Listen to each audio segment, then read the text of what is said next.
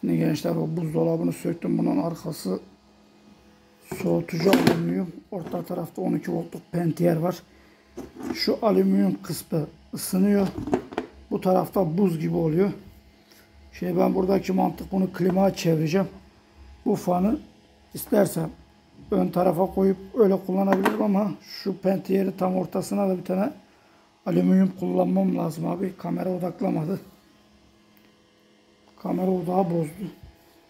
Bu tarafına da ayrıyetten fan kullanmam lazım. İki taraf. Bir taraf şurayı soğutacak.